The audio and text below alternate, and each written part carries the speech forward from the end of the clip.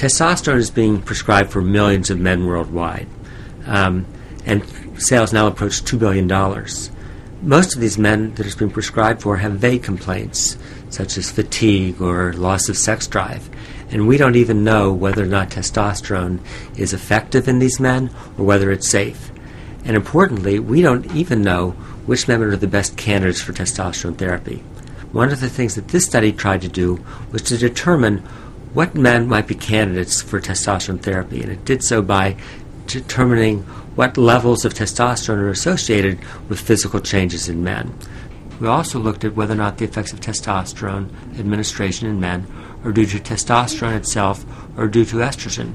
In normal men, is a small proportion of testosterone is normally converted into estrogen. It appears that the effects of estrogen deficiency in men and women are the same.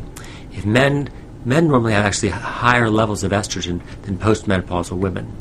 But if men's estrogen levels decline to the levels of postmenopausal women, they'll have the same types of changes that occur in postmenopausal women, including hot flashes, bone loss, loss of libido, and gain of body fat.